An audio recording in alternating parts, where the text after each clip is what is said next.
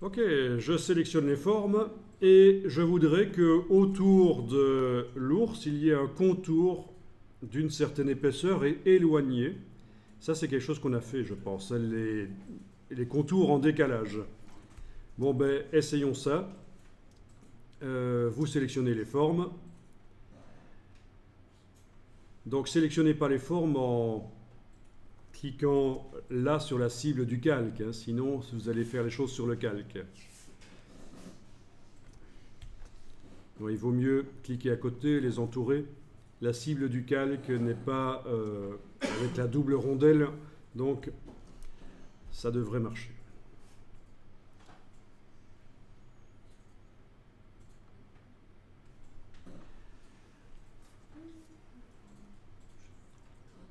Alors on va afficher un contour,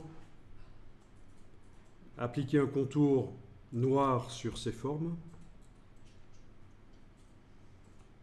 Voilà.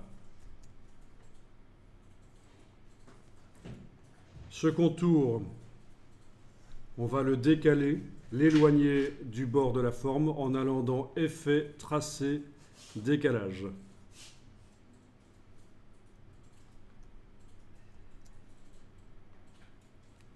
Case aperçue. Voilà, donc apparemment chez moi 4 mm ce serait bien. Je tape 4, touche tabulation.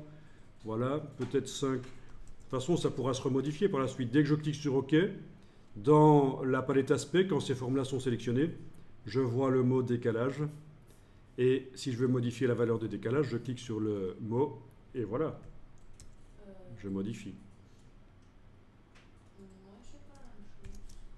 Donc c'est uniquement le contour qu'on décale en fait. Hein. Au, moment où tu vas chercher l'objet, non, au moment où tu vas chercher effet, tracé, décalage, il faut que ce soit le contour qui soit activé parce que c'est sur le contour et uniquement sur le contour qu'on met le décalage. Toi, ce que tu avais, c'est que le décalage était en dehors de, des objets et donc ça épaississait tout en fait comme ça, sans doute. Non, même pas. Euh, en tout cas, voilà, c'est sur le contour qu'on met le décalage.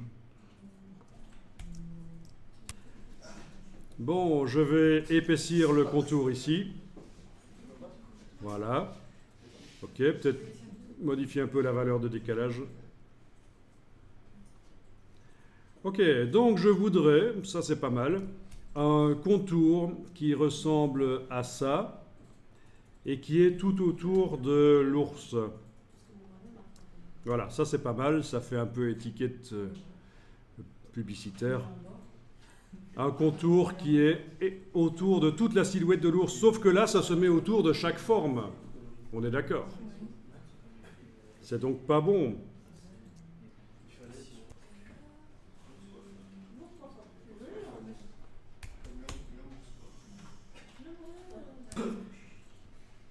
Donc, je vais stocker ce, style dans la palette des, styles graphiques, menu fenêtre style graphique. Donc la palette des styles graphiques du document. En ayant mes formes là sélectionnées, je vais cliquer sur euh, le bloc de feuilles. Et voilà, le style a été stocké. On voit que c'est un fond noir avec un contour décalé. Super. Et puis, je vais ici euh, réduire... Euh, on, va faire un pathfinder pour réunir tout ensemble, en fait. Toutes les formes vont être réunies ensemble.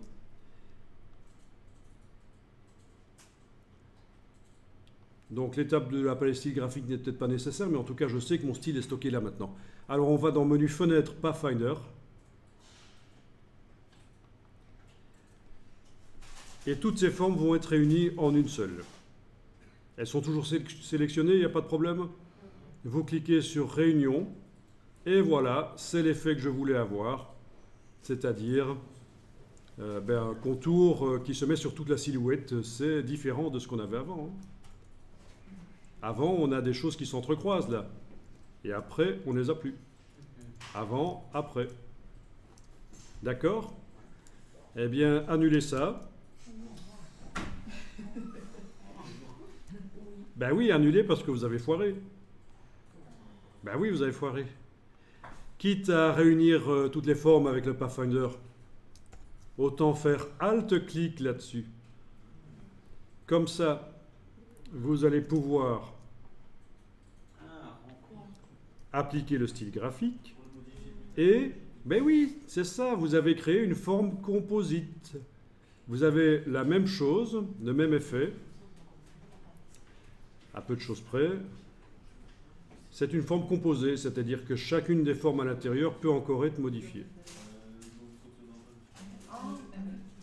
C'est d'ailleurs indiqué, quand vous survolez l'option réunion, on vous dit entre parenthèses option clic pour créer une forme composée. Donc ça veut dire qu'on peut encore là, avec euh, la flèche blanche, je clique à côté de tout, avec la touche Alt, je peux sélectionner une forme, et l'outil de transformation manuelle peut me permettre d'aller tourner quelque chose, le bouger, voilà. D'accord? Sympa ça. Ça reste modifiable. Donc c'est avec la flèche blanche, cliquez à côté et Alt-clic sur une forme. On sélectionne entièrement une des formes qui fait partie d'un système. C'est donc en fait l'outil euh, flèche blanche plus. Quand j'utilise la flèche blanche avec la touche Alt, ça appelle euh, la flèche blanche plus en fait. Hein. Oui, vous devez réappliquer le style graphique en fait. Hein.